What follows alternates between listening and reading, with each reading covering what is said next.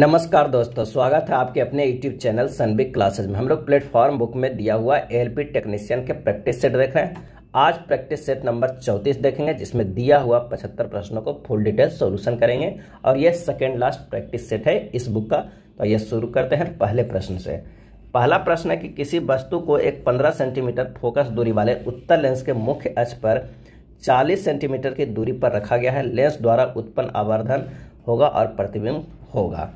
तो उत्तर लेंस में क्या होता है कि यू जो होता है निगेटिव होता है एफ़ जो होता है पॉजिटिव होता है भी भी पॉजिटिव होता है अगर वास्तविक प्रतिबिंब हो तो और भी बराबर निगेटिव होता है जब आभासी प्रतिबिंब हो तो। अब लेंस सूत्र से आइए निकालते हैं one by v minus one by u बराबर वन बाई एफ़ होता है। तो वन बाई भी बराबर one by f plus one by u हो गया। अब वन बाई एफ़ का मान कितना है? दे देते हैं एफ़ का, पंद्रह है। और यू का क्या है? चालीस है। जब इसे सोल्व कीजिएगा तो आठ माइनस तीन बटा एक सौ बीस आ जाएगा। तो भी बराबर हमारे पास कितना आ जाएगा? एक सौ बीस बटा पाँच, यानी चौबीस। एम बराबर आवर्धन क्षमता बराबर क्या होता है? भी बाई यू भी कितना दिया हुआ है? तो भी हमारे पास आ गया चौबीस, और यू बराबर कितना है? चालीस। आंसर जो हमारे पास आ जाएगा ज़ीरो दशमलव छः ज़ीरो दशमलव छः यानी आवर्धन का जो मान है, एक से कम होगा। आवर्धन का मान धनात्मक है, अतः प्रतिबिंब उल्टा, वास्तविक एवं छोटा बनेगा। आंसर जो हमारे पास निकल के आ जाएगा, वो हो जाएगा ए अगला प्रश्न है कि एक बल्ब पर 220 वोल्ट 100 वाट लिखा है। जब इसे 55 वोल्ट के स्रोत से जोड़ा जाता है तो इसके द्वारा व्यय शक्ति क्या होगा? तो सबसे पहले आर निकालना है, क्योंकि भी स्क्वायर बटा पी होता है। अब भी कितना? 220 वोल्ट लिखा हुआ है 220 गुना 220 अब पावर कितना लिखा हुआ है? थे शक्ति? तो 100 वाट। ये हो जाएगा 100 वाट। अब इससे निकल जाएगा आर कितना? तो चार सौ चौरासी ओम का बल्ब है। अब कह रहा है कि जब 110 वोल्ट से जोड़ा जाता है, तब भी शक्ति। 110 मतलब 55 वोल्ट से जोड़ा जाता है, तब क्या होगा? तो P बराबर हो जाएगा भी स्क्वायर बटा आर तो भी कितना है? पचपन से जोड़ा गया है तो पचपन गुना पचपन बटा आर कितना निकाले थे? चार सौ चौरासी, क्योंकि रेटिंग वही दिया हुआ है तो हमारे पास आ जाएगा कितना? छः दशमलव दो पाँच बाट। आंसर जो हमारे पास हो जाएगा, वो क्या हो जाएगा? वो हो जाएगा ऑप्शन डी छः दशमलव दो पाँच। उस सम बहुभुज की भुजाओं की संख्या ज्ञात कीजिए, जिसके सभी अंतक कोनों का योगफल सत्ताईस सौ डिग्री है। सम बहुभुज के सभी अंतक कोनों का योगफल क्या होता है? ये होता है एन माइनस टू इंटू एक सौ अस्सी डिग्री। और ये कितना दिया हुआ है? तो ये सत्ताईस सौ डिग्री दिया हुआ है। तो एन माइनस टू बराबर हो जाएगा सत्ताईस सौ बटा एक सौ अस्सी बराबर कितना हो जाएगा? पंद्रह। तो एन बराबर कितना हो जाएगा? पंद्रह प्लस दो बराबर सत्रह। आंसर जो हमारे पास आ जाएगा, वो हो जाएगा सत्रह। प्रश्नों चार, चौदह, ग्यारह, आठ, सात, आठ, नौ, बारह, चार और छः की माधिका ज्ञात कीजिए। तो सबसे पहले इसे क्या कीजिए? आरोही क्रम में सजा दीजिए। तो आरोही क्रम में अगर हम इसे सजाते हैं तो ये हमारे पास आ जाएगा क्या? तो चार चार छ सात, आठ आठ उसके बाद होगा नौ, ग्यारह, बारह और चौदह। अब प्रश्नों की संख्या एन बराबर कितना है? जब इसे काउंट करेंगे तो ये दस है, यानी सम संख्या है। तो सम संख्या का माध्य का क्या होता है? एन बाई टूवा और कौन होता है? एन बाई टू प्लस वनवा जो पद है, उसका मध्य होता है, यानी पांचवा और छठा पद। तो पांचवा जो होगा, कौन है? आठ है या छठा भी आठ है? यानी आठ प्लस आठ बटा दो, यानी सोलह बटा दो बराबर क्या आ जाएगा? आठ। आंसर जो हमारे पास आ जाएगा, वो हो जाएगा सी। अगला प्रश्न है कि एक व्यक्ति की तस्वीर की इशारा करते हुए रमेश ने कहा, रमेश ने कहा तस्वीर की इशारा करते हुए कि यह व्यक्ति मेरी माँ की इकलौती संतान का बेटा है। रमेश का, उससे क्या संबंध है? जो तस्वीर वाले जो व्यक्ति है, वो क्या है? तस्वीर वाला मेरी माँ का, किसके? रमेश की माँ के इकलौती संतान। माँ का इकलौती संतान तो कौन हो जाएगा? रमेश खुद हो जाएगा। और इकलौती संतान का ये बेटा है। यानी है, स्पष्ट है कि रमेश जो है, तस्वीर वाले व्यक्ति का पिता है। आंसर जो हो जाएगा सी। उस विकल्प का चयन करें जो तीसरे शब्द में उसी प्रकार संबंधित है, जिस प्रकार दूसरा शब्द पहले से है। पत्र, लिफाफा, खंजर आंसर हो जाएगा सी, म्यान। दूध का जो संबंध डेयरी से है, वही संबंध ब्रेड का है तो इसका सही जवाब हो जाएगा ऑप्शन सी, बेकरी से। अगला प्रश्न है, ऑस्ट्रेलिया ओपन के पुरुष सिंगल्स में किसने अपना पहला ग्रैंड स्लैम जीता है? इसका जो आंसर हो जाएगा ऑप्शन डी, जेनिक सिनर। यहाँ लिखा हुआ है, ये गलत लिखा हुआ जेनिक सिनर इटली के हैं, वो अपना पहला ग्रैंड स्लैम जीता है इनमें से। तत्व एक्स में कुल 16 प्रोटॉन और 16 न्यूट्रॉन है, यह खाली स्थान से संबंधित है। और इसका जो सही आंसर हो जाएगा, वो हो जाएगा डी तीसरे आवर्त और सोलहवें समूह में। तत्व एक्स में कुल 16 प्रोटॉन और 16 न्यूट्रॉन है, ये तीसरे आवर्त और सोलहवें समूह से संबंधित है। यदि तत्व में 16 प्रोटॉन है तो इसकी परमाणु संख्या कितना होगा? 16 होगा। और वो तत्व क्या होगा? सल्फ़र होगा। अगला है, किसी पिंड का भार 40 न्यूटन है तो पृथ्वी द्वारा पिंड को अपनी ओर आकर्षित करने वाला बल का मान क्या हो जाएगा? तो किसी पिंड का भार अगर 40 न्यूटन है तो पृथ्वी द्वारा पिंड को अपनी ओर आकर्षित करने वाला बल का मान भी 40 न्यूटन होगा। न्यूटन की गति के तृतीय नियम के अनुसार क्रिया इक्वल टू प्रतिक्रिया है। क्रिया प्रतिक्रिया के बराबर होता है, लेकिन यह विपरीत दिशा में हो, में दो भिन्न भिन्न वस्तुओं पर कार्य करता है। तो आंसर जो हमारे पास हो जाएगा, वो हो जाएगा सी एक बेलन के आधार का व्यास तीन सेंटीमीटर है और इसकी ऊंचाई चौदह सेंटीमीटर है। बेलन का आयतन ज्ञात कीजिए। तो बेलन के आयतन बराबर होता है पाई आर स्क्वायर, यानी बाईस बटा सात अगुना तीन बटा दो रेडियस निकाल लिए वहाँ स्क्वायर अगुना चौदह हो गया।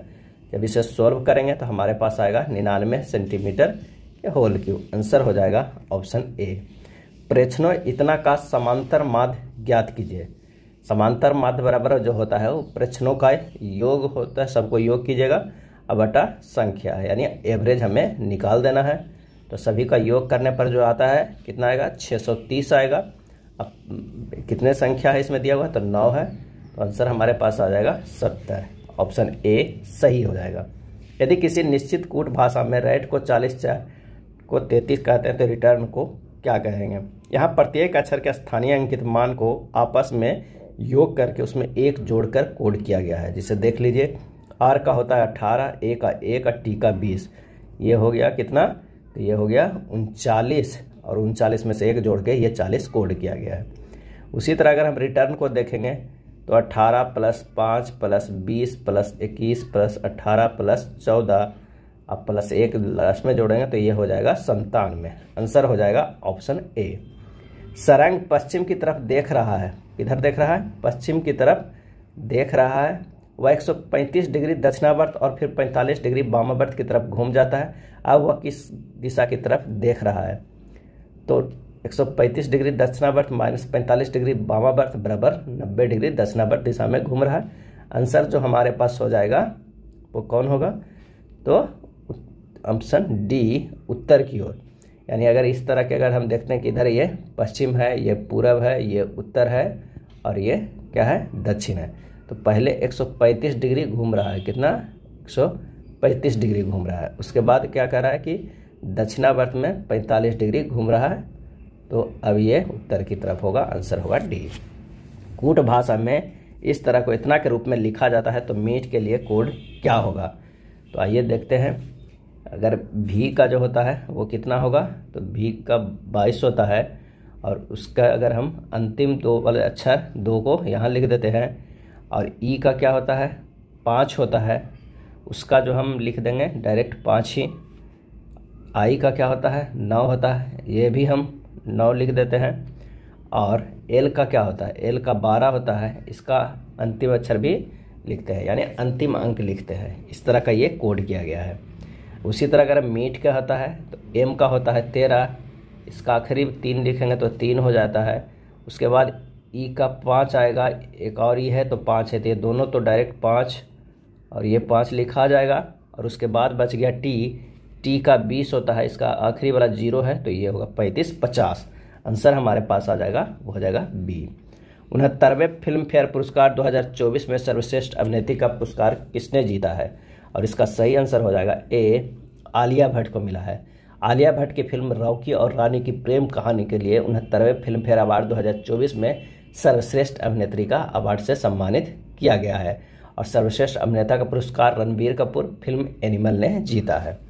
कोई प्रकाश किरण किसी कांच के प्रिज्म के एक अपवर्तक पृष्ठ ए बी पर आपतित होती है और अनअपवर्तक पृष्ठ ए सी से बाहर निकलती है। निम्न कथनों पर विचार कीजिए और बताइए कि कौन सा कथन सही है। पृष्ठ ए बी पर अपवर्तन कोण श्वेत प्रकाश के विभिन्न रंगों के लिए समान होता है। पृष्ठ ए सी पर अपवर्तन कोण विभिन्न रंगों के लिए भिन्न होता है। आंसर जो हमारे पास हो जाएगा हो जाएगा बी केवल दो सही है। नेक्स्ट है, किसी परिक्रमा करते हुए उपग्रह से एक छोटा सा भाग पृथक होता है, तब यह भाग। आंसर हो जाएगा ऑप्शन सी उपग्रह की भांति ही समान कक्षा में घूमता रहता है। एक दुकानदार के पास निम्न योजनाएँ हैं, पंद्रह परसेंट और बीस परसेंट की दो क्रमागत छूट है। अगर पंद्रह बीस की दो क्रमागत छूट देखा जाए तो कितना हो जाएगा? तो पंद्रह गुना बीस, अब बटा सौ बराबर ये बत्तीस परसेंट के बराबर होगा। पाँच खरीदे और चार मुफ़्त पाए। तो इसमें जो अगर हम छूट देखते हैं तो चार बटा नौ गुना सौ बराबर कितना होगा? चौवालीस दशमलव चार चार परसेंट। यानी कौन सा फ़ायदा हो जाएगा? तो प्रत्येक योजना में एकल छूट क्रमशः पूछ रहा है तो ये हो जाएगा ए। कभी कभी पूछता है कि अपना कौन सा चूज़ करना चाहिए? तो पाँच खरीदे, चार मुफ़्त पाए, लेकिन यहाँ पर दोनों को परसेंटेज पूछ रहा है तो एक का होगा, बत्तीस परसेंट छूट है, दूसरे में चौवालीस दशमलव चार चार परसेंट नेक्स्ट है, एक व्यक्ति ने क्रमशः दो में तीन सेब और एक प्रति सेब की दर से सेब की दो किस्में खरीदी।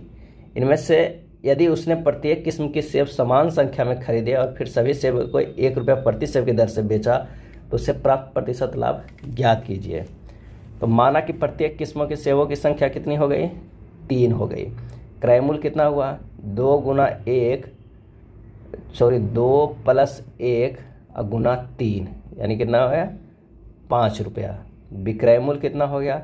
विक्रय मूल्य हुआ एक गुना छः बराबर छः तो लाभ परसेंट बराबर क्या हो गया? छः माइनस पाँच बटा पाँच अगुना सौ बराबर कितना हो गया? बीस परसेंट। आंसर हो गया कितना? तो हो गया बी, बीस परसेंट। यहाँ कह रहा है कि प्रत्येक किस्म के सेब समान संख्या खरीदे। यानी यहाँ जो है, वो तीन तीन सेब खरीदा। एक तीन सेब कितने में था? दो रुपया में खरीदा। एक एक का रुपया में खरीदा तो ये तीन रुपया का। तो यही हमारा पाँच रुपया आया था। अब बेचा कितना? एक रुपया प्रति सेब की दर से। तो कितना बिक्री में छः रुपया बिक्री हुआ। तो लाभ हमें निकला बीस परसेंट। अगला कथन एवं निष्कर्ष का प्रश्न है। शैक्षिक संस्थानों के पुस्तकालयों में पर्याप्त पुस्तकों की उपलब्धता के बावजूद शहरी क्षेत्र के शैक्षणिक संस्थानों में अध्ययन करने वाले अधिकांश छात्रों ने ऑनलाइन ऑफलाइन अध्ययन सामग्री खोजने के लिए मुख्य संसाधन के रूप में मोबाइल फ़ोन या अन्य इलेक्ट्रॉनिक उपकरणों का प्रयोग करना शुरू कर दिया है। परिणाम स्वरूप अध्ययन सामग्री के रूप में प्रयोग की जाने वाली पुस्तकों के उपयोग में भारी गिरावट हुई है। निष्कर्ष क्या है? पुस्तक पढ़ने के तरीके खोजे जाने चाहिए। दूसरा, पुस्तक पढ़ने की स्थिति के बारे में जानने के लिए एक शोध अध्ययन किया जाना चाहिए। इसका सही आंसर हो जाएगा, ए, न तो निष्कर्ष एक और न ही निष्कर्ष दो पालन करता है। अगला है, कूट भाषा के प्रयोग करके हमें बताना है कि हैबिट का क्या मतलब निकलेगा। तो इसका जो आंसर हो जाएगा, वो हो जाएगा बी। काफ़ी इजी प्रश्न है, इसका आंसर बी हो जाएगा। दिए हुए चित्र के अनुसार पासे के प्रत्येक पृष्ठ जो है, पर छः अक्षर है जी एच आई जे के और एल जिस पृष्ठ पर जे अक्षर अंकित है, उसके विपरीत पृष्ठ पर कौन सा अक्षर है? तो यहाँ पर देखिए कि कॉमन क्या है? तो कॉमन हमारे पास एल है। यहाँ से क्लॉकवाइज घूम जाइए। एल जे एच होगा। एल आई के होगा। तो यहाँ पर जो जे के अपोजिट है, वो कौन है? आई है। आंसर जो हमारे पास हो जाएगा, वो हो जाएगा कौन सा? तो वो हो जाएगा सी आई होगा। और पासे का काफ़ी अच्छा वीडियो सनबिक मैथ पे लोड किया गया है, आप जाकर एक बार देख सकते हैं, लिंक डिस्क्रिप्शन में दिया हुआ है। हाल ही में जनवरी 2024 में किसके द्वारा बिहार के मुख्यमंत्री पद को शपथ दिलाया गया है? और इसका सही आंसर हो जाएगा ऑप्शन डी, राजेंद्र विश्वनाथ अरलेकर के द्वारा, क्योंकि ये बिहार के जो है, वो राज्यपाल है। और राज्यपाल जो है, क्या करते हैं, मुख्यमंत्री के शपथ दिलाते हैं। बिहार की नई सरकार में विजय कुमार सिन्हा और सम्राट चौधरी उप मुख्यमंत्री के रूप में शपथ लिए हैं। और नीतीश कुमार नौवीं बार बिहार के मुख्यमंत्री पद की शपथ ली है। अगला है माध्यमों, एक, दो और तीन के वर्तनांक है। एक दशमलव तीन एक एक दशमलव तीन आठ और एक दशमलव चार चार। यदि माध्यमों में प्रकाश की चाल वी वन वी टू और वी थ्री है तो उनके बीच निम्न में से कौन सा संबंध जो है, वो सही है? तो आंसर हो जाएगा D V one greater than V two greater than V three mu बराबर जो हमारे पास होता है, निर्बात में प्रकाश की चाल बटा माध्यम में प्रकाश की चाल। माध्यम के अपवर्तनांक जितना अधिक होगा, माध्यम में प्रकाश की चाल उतनी ही कम होगी। अगला है एक उत्तर लेंस और एक अवतल लेंस आपको दिया गया है, जिसकी शक्ति अज्ञात है। किस लेंस की शक्ति अधिक होगी? और इसका सही आंसर हो जाएगा ए हमेशा उत्तर लेंस की। एक उत्तर लेंस और एक अवतल लेंस दिया जाए तो हमेशा जो होता है उत्तर लेंस की शक्ति अधिक होता है। उत्तर लेंस की शक्ति हमेशा धनात्मक होता है, जबकि अवतल लेंस की शक्ति हमेशा ऋणात्मक होता है। लेंस की अगर क्षमता देखा जाए पी बराबर जो होता है, सौ बटा एफ़ जहाँ एफ़ क्या है, वो सेंटीमीटर में हो। और वन बाई एफ़ होगा अगर वो मीटर में हो तो। यदि तीन क्रमागत विषम संख्याओं का योग 309 है तो उनमें से सबसे बड़ी संख्या खाली स्थान होगी। तो आइए निकालते हैं तीन क्रमागत विषम संख्याओं का। X माइनस टू एक्स और x प्लस टू होगा। और इसे जोड़ दीजिए, x minus two plus x plus x plus two बराबर कितना है? तीन सौ नौ है। तो थ्री एक्स बराबर हो जाएगा कितना? तीन सौ नौ। एक्स बराबर हो जाएगा कितना? एक सौ तीन। तो आंसर हमारे पास जो आ जाएगा सबसे बड़ी संख्या तो एक सौ तीन अब प्लस दो कर दीजिए, एक सौ पाँच हो जाएगा। आंसर बी हो जाएगा।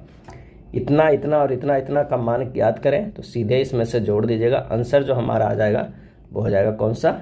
बी हो जाएगा। ए बी का बेटा है। ए जो है, वो क्या है? वो बी का बेटा है, जो कि सी का इकलौता बेटा है। सी का क्या है? इकलौता बेटा है। डी सी का पति है। डी जो है, वो क्या है? सी का पति है। तो डी का ए से क्या संबंध है? तो डी का ए से क्या संबंध है? तो ये सिंपल सी हो जाएगा दादा। आंसर हो जाएगा ऑप्शन ए कथन एवं धारणाएँ के प्रश्न है। पिछले वर्ष में पुणे विश्वविद्यालय ने छात्रों के बेहतर भविष्य के लिए कई व्यावसायिक पाठ्यक्रम आरंभ किए। धारणाएँ पुणे विश्वविद्यालय का मानना है कि व्यावसायिक शिक्षा विद्यार्थियों को उज्जवल भविष्य मुहैया करवाती है। दूसरा, पुणे विश्वविद्यालय छात्रों के भविष्य को लेकर सचेत है। आंसर हो जाएगा डी, धारणा ए और बी दोनों इसमें निहित है।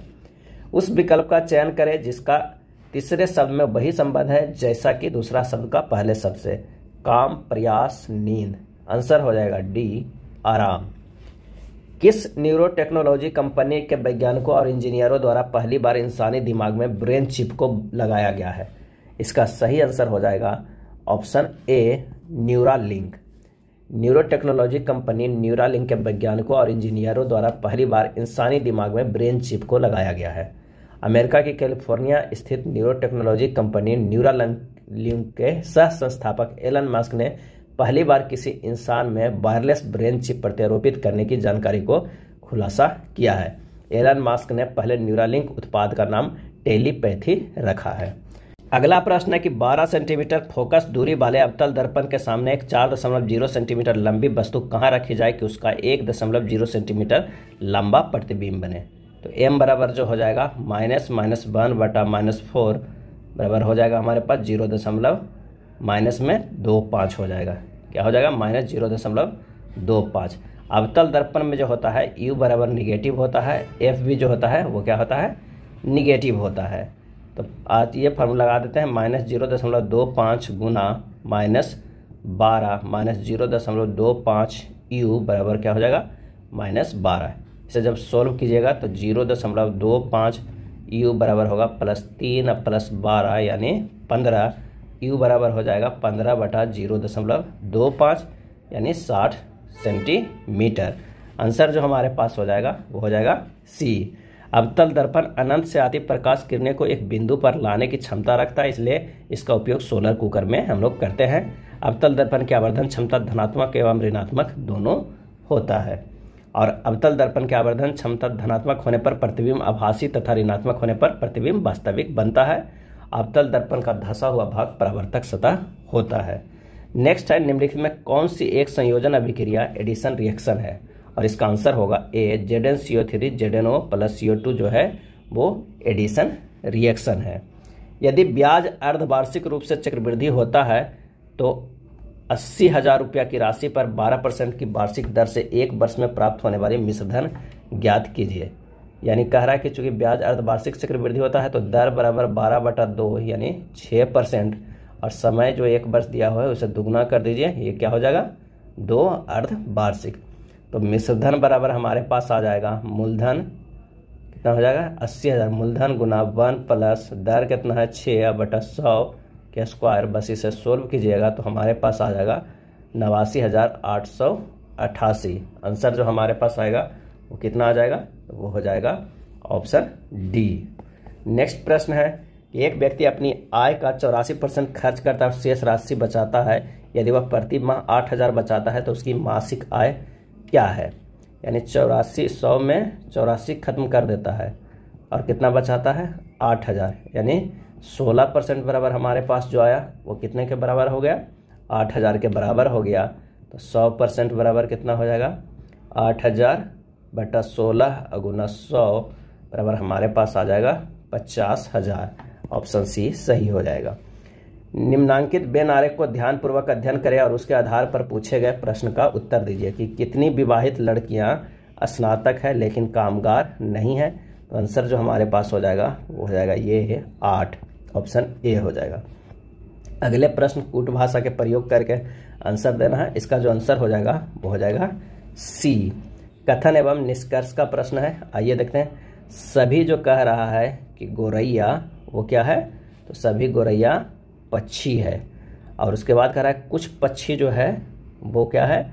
वो जानवर है। कुछ पक्षी जो हमारे पास है, वो हो जाएगा, क्या है? वो जानवर है। इस तरह बनेगा, कुछ पक्षी जो है, वो जानवर है। ये जानवर है। सभी कुत्ते जो है, वो जानवर है। सभी कुत्ते जो है, वो जानवर है। ये कुत्ते हो जाएँगे और ये ऊपर वाला क्या हो जाएगा? पक्षी और बीच वाला जो है वह है गौरैया। अब आइए निकालते हैं निष्कर्ष में कुछ कुत्ते गोरैया है। गलत है। सभी जानवरों के पक्षी होने की संभावना है। सही है। कुछ जानवर गोरैया है, ये गलत है। आंसर जो हो जाएगा, वो हो जाएगा ऑप्शन डी, केवल निष्कर्ष सेकेंड सत्य है। हाल ही में भारतीय सेना द्वारा सदा तंसीक नामक युद्ध अभ्यास किसके साथ प्रारंभ किया? सदा तंसीक आंसर हो जाएगा ऑप्शन ए, सऊदी अरब के साथ। सदा तंसीक का आयोजन 29 जनवरी से 10 फरवरी 2024 तक राजस्थान में आयोजित किया गया था। आधुनिक आवर्त सारणी के 118 तत्वों में से प्राकृतिक रूप से पाए जाने वाले तत्व कितने हैं? आंसर हो जाएगा ए, चौरानवे। एक तत्वों में से कृत्रिम रूप से पाए जाने वाले तत्व कितना है? तो 24 है। आधुनिक आवर्त सारणी मोसले के नियम पर आधारित है। निम्नलिखित यौगिकों को आयुपीएससी पद्धति का नाम बताइए इसका क्या नाम हो सकता है? इसका जो आंसर हो जाएगा, वो हो जाएगा थ्री मेथिल वन ब्यूटीन क्या हो जाएगा? थ्री मेथिल वन ब्यूटीन हो जाएगा। अगला प्रश्न है, निम्न बंटन की माध्यिका ज्ञात कीजिए। तो ये हो जाएगा, एक कितने बार है? तो पाँच बार है। उसके में से ये जुड़ जाता है तो कितना? पाँच और सात हो जाएगा, बारह। इसमें से ये जुड़ जाता है तो सोलह। और सोलह में आठ जुड़ जाएगा तो ये चौबीस। और चौबीस में दो जुड़ जाएगा तो ये छब्बीस हो जाएगा। और छब्बीस प्रश्नों की संख्या कितनी है? छब्बीस है, जो कि सम संख्या है तो माधिका बराबर जो हमारे पास होगा माधिका बराबर होगा एन बाई टूवा पद और एन बाई टू प्लस वनवा पद, यानी तेरहवा और चौदहवा दोनों पद होगा, उसका जो होगा एवरेज होगा। तो तेरहवा, चौदहवा किसमें है? सोलह में लाई कर रहा है तो इसका जो हमारे पास जो आ रहा है, वो क्या है? तीन है। तो तीन प्लस तीन दोनों, तेरहवा, चौदहवा दोनों लाई करेगा किसमें? सोलहवा में। तीन प्लस तीन बटा दो यानी आंसर हो जाएगा हमारे पास तीन आंसर हो जाएगा बी अगला प्रश्न त्रिकोण मिति का है, इसका सोल्यूशन काफ़ी लंबा है, जो यहाँ बताना थोड़ा मुश्किल है, इसका जो आंसर हो जाएगा, वो हो जाएगा कौन सा? डी है, आप इसे सोल्व कीजिएगा आंसर हो जाएगा डी उस समुच का चयन कीजिए, जिसकी संख्याओं के बीच वही संबंध है, जो नीचे दी गए समुच्चों की संख्याओं के बीच में है। चार, चौबीस, ग्यारह, एक सौ तैतालीस का, देखिए किस तरह है, चार गुना चार प्लस दो करते हैं, यानी चार गुना छः चौबीस हो जा रहा है। उसी तरह ग्यारह गुना ग्यारह प्लस दो करेंगे, ग्यारह गुना तेरह बराबर एक सौ तैतालीस।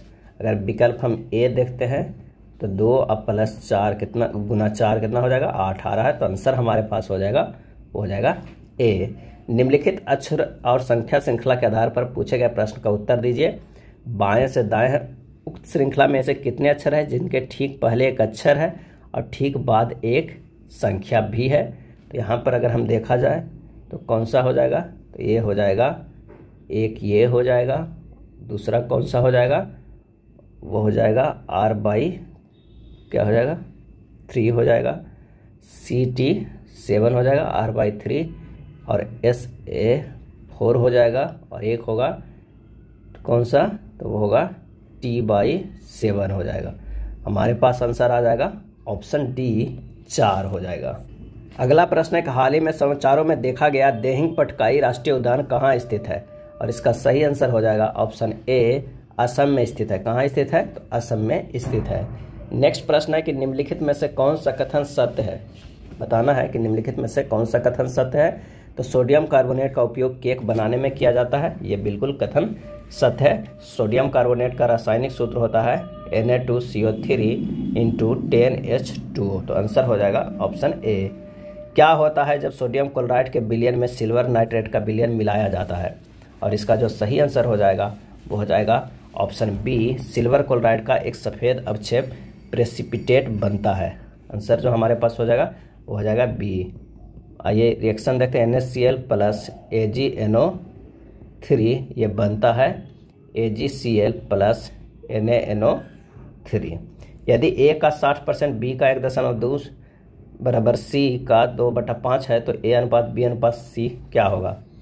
ए गुना साठ बटा सौ बराबर बी गुना एक दशमलव दो बराबर सी गुना दो बटा पाँच हो जाएगा। थ्री ए बटा पाँच बराबर सिक्स बी बटा पाँच बराबर टू सी बटा पाँच होगा। यानी थ्री ए बराबर सिक्स बी बराबर टू सी ए अनुपात बी अनुपात सी बराबर होगा। छः गुना दो अनुपात, तीन गुना दो अनुपात जो होगा हमारे पास, वो होगा कितना? दो गुना तीन अनुपात, तीन गुना छः हो जाएगा। हमारे पास जो क्या आएगा कितना? छः गुना दो अनुपात, तीन गुना दो अनुपात होगा कहाँ पे? तीन गुना छः यानी दो अनुपात, एक अनुपात, तीन होगा। आंसर जो हमारे पास आएगा, वो होगा सी। अगला है, चौंसठ सौ की धनराशि छः परसेंट वार्षिक साधारण ब्याज की दर पर कितनी अवधि में बढ़कर इकहत्तर सौ अड़सठ हो जाएगी?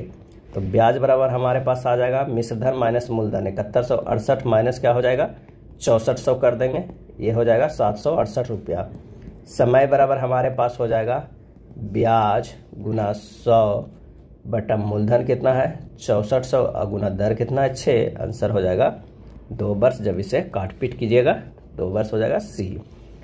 किसी कूट भाषा में संख्याओं प्रतीकों का एक समूह नीचे दिया गया है। उसके बाद दी गई शर्तों के अनुसार अक्षरों का उपयोग करके कूटबद्ध किया गया है।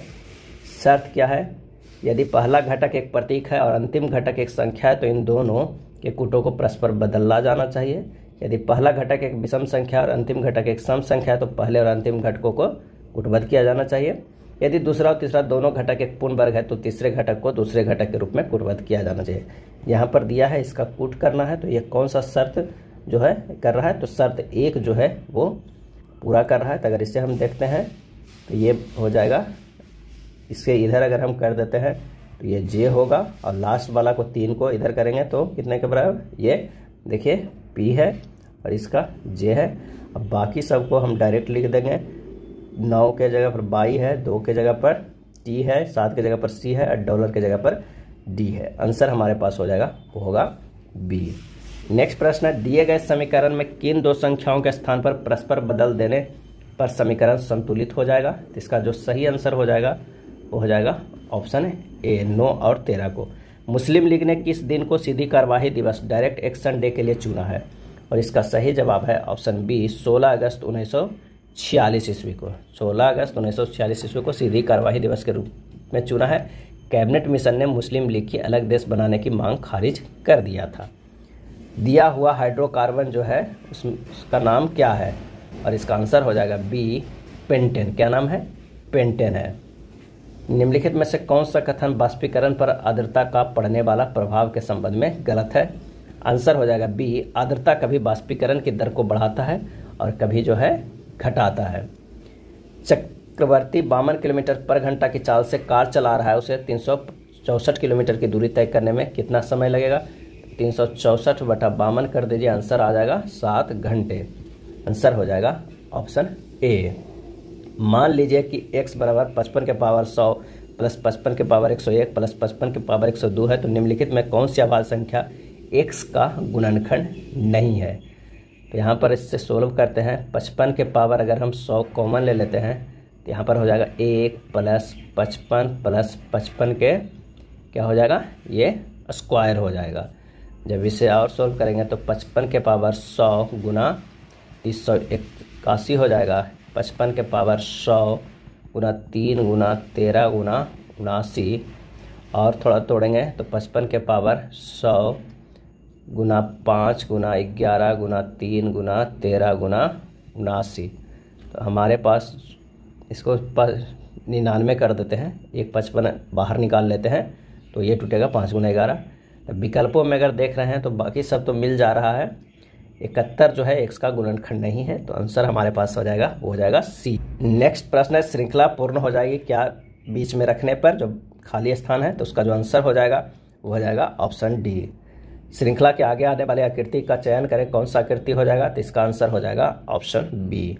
काली मिट्टी का दूसरा नाम निम्नलिखित में से कौन सा है? इसका सही जवाब हो जाएगा ऑप्शन बी स्वयं जुताई करने वाली मिट्टी। काली मिट्टी का दूसरा नाम स्वयं जुताई करने वाली मिट्टी है। काली मिट्टी को कपासी मिट्टी, रेगुर मिट्टी, करेला मिट्टी और चार नोजम मिट्टी के नाम से भी जाना जाता है। निम्नलिखित में से कवक के उदाहरण कौन है? आंसर हो जाएगा डी, सभी। टूल, पुकिनिया और ईस्ट, ये सभी जो है, वो कवक है। कवक परजीवी एवं मृतोपजीवी होते हैं। बेसोप्रेसिन संबंधित है और इसका सही आंसर हो जाएगा ए, मूत्र के सांद्रण से। बेसोप्रेसिन मूत्र के सांद्रण से संबंधित है। यह एंटी ड्यूरेटिक हार्मोन है एडीएच है। यह हाइपोथैलेमस से निष्कर्षित होता है, जो रक्त में पहुंचकर मूत्र के सांद्रण में सहायता करता है। इनमें कौन सा जाइलम का एक घटक नहीं है? और इसका सही आंसर हो जाएगा ऑप्शन सी, सहचर या साथी। जो है कोश का जाइलम का एक घटक नहीं है। जाइलम जल संवाहक उत्तक भी कहलाता है। जाइलम जड़ों द्वारा अवशोषित जल तथा खनिज लवणों को पौधे के विभिन्न भागों तक पहुंचाता है। यदि दो संख्याओं का योग 48 है, जबकि इन दोनों संख्याओं का महत्तम समावर्तक 6 है तो यदि x ग्रेटर देन बाई है तो ऐसे संख्या युग्म एक्स बाई की कुल संख्या कितनी होगी? तो माना कि संख्या कितना है? सिक्स एक्स और सिक्स बाई है। Six x plus six y बराबर कितना है? तो अड़तालीस है। छः कॉमन ले लेंगे। एक्स प्लस बाई बराबर कितना है? तो अड़तालीस। एक्स प्लस बाई बराबर कितना हो जाएगा? आठ है। अब एक्स ग्रेटर देन बाई तथा एक्स बाई आ जाए तो कौन कौन हो सकता है? सात एक हो सकता है, पाँच दिन हो सकता है। हमारे पास कितने बना? तो दो। दिए गए विकल्पों में असंगत को पहचाने। तो आइए देखते हैं, आंसर हो जाएगा ईगल झपट्टा। ईगल किसी वस्तु को पकड़ने के लिए झपट्टा मारती है, जबकि अन्य सभी को रहने की जगह सही दिया गया है। निम्न श्रेणी में आगे आने वाली संख्या का चयन करें। 101 में प्लस बाईस करेंगे तो एक सौ तेईस है, इसमें से प्लस चौबीस करेंगे तो एक सौ सैंतालीस है, इसमें से क्या करेंगे? 26 करेंगे तो एक सौ तिहत्तर होगा और इसमें से 28 करेंगे, यानी एक सौ तिहत्तर प्लस अट्ठाईस करेंगे तो 201 जो है, वही हमारा आंसर होगा। कैल्शियम से भरपूर मिट्टी के लिए निम्नलिखित में कौन सा शब्द प्रयोग किया जाता है? आंसर हो जाएगा ए पेडोकल क्या है? पेडोकल मिट्टी में कैल्शियम की मात्रा भरपूर पाई जाती है। लेटेराइट मिट्टी में लोहा, एल्युमिनियम और चूना की मात्रा अधिक होती है। पेडोकल दो शब्दों का बना होता है, पेडो और कैल। यहाँ पेडो का अर्थ है मिट्टी और कैल का अर्थ है कैल्शियम। बैक्टीरिया की एक प्रजाति जो समुद्री जल की सतह पर फैले पेट्रोलियम पदार्थों को विघटित कर अपना भोजन प्राप्त करती है और समुद्री जल को प्रदूषण से मुक्त करने में सहायक होती है। इसका आंसर हो जाएगा बी, सुपर बग। क्या होता है? Super bug. सुपर बग एक ऐसा सूक्ष्मजीवी है जिस पर एंटी माइक्रोब्रियल ड्रग्स का प्रभाव नहीं पड़ता है। सिगरेट पीना स्वास्थ्य के लिए हानिकारक क्यों है? आंसर हो जाएगा डी, क्योंकि यह ऊपरी श्वसन पथ में मौजूद पछमाव को नुकसान पहुंचाता है। टिटनेस नामक रोग निम्न नाम से भी जाना जाता है। इसका आंसर हो जाएगा सी, लॉकजा। टिटनेस नामक रोग लॉकजा नाम से भी जाना जाता है। यह रोग क्लोस्ट्रेडियम टेटोनी नामक बैक्टीरिया से होता है। इस रोग में गर्दन, चेहरे तथा जबड़े की मांसपेशियों में पक्षाघात हो जाता है तथा शरीर जो है, वो अकड़ जाता है। बच्चों में डीपीटी का टीका लगवा देने से इस रोग से बचा रखा जाता है। तीन के स्क्वायर चार के स्क्वायर पाँच के स्क्वायर छः के स्क्वायर सात के स्क्वायर का औसत क्या हो जाएगा? यानी नौ प्लस सोलह प्लस पच्चीस प्लस छत्तीस प्लस उनचास बटा पाँच कर देंगे तो आंसर आ जाएगा एक सौ पैंतीस बटा पाँच, यानी सत्ताईस। आंसर हो जाएगा सी। आठ मित्र है जो एक वृत्ताकार मेज के चारों और एक दूसरे के आमने सामने बैठे हैं। अब चारों और आठ मित्र बैठे हुए हैं। ए, एफ़ के सामने है। अगर ए यहाँ पर बैठा हुआ है तो एफ़ जो है वो यहाँ पर बैठा हुआ होगा। ई के दाएँ दूसरा है। E जो हमारे पास कहाँ है, वो यहाँ बैठा हुआ है। और एक कह रहा है कि जी जो है, सी और ए के बीच में बैठा हुआ है। जी जो है, वो कहाँ बैठा हुआ है? सी और ए के बीच में बैठा हुआ है। एच ई के बाएँ है। एच जो है, वो ई के बाएँ हैं। तो कौन सी के बाएँ? दूसरा है। तो यहाँ पर अगर हम कौन बैठा होगा? बी या डी होगा। यहाँ क्या होगा? डी या बी होगा। आंसर जो हमारे पास निकल के आ जाएगा वो हो जाएगा बी ए है। निम्न अक्षर समूह में कौन सा एक समूह का हिस्सा नहीं है? और इसका आंसर हो जाएगा वो होगा बी क्या हो जाएगा? इसका आंसर हो जाएगा बी एफ़ एच अन्य सभी विकल्पों में एक एक स्वर है जबकि विकल्प बी में केवल व्यंजन है। भारतीय संविधान का अनुच्छेद 338 ए किससे संबंधित है? सही आंसर होगा ए अनुसूचित जनजाति के लिए राष्ट्रीय आयोग के लिए सम, ये है संबंधित है। राष्ट्रीय अनुसूचित जाति आयोग का गठन अनुच्छेद 338 ए के अंतर्गत संवैधानिक आयोग है और राष्ट्रीय पिछड़ा वर्ग आयोग अनुच्छेद 338 बी के अंतर्गत बनाया गया है।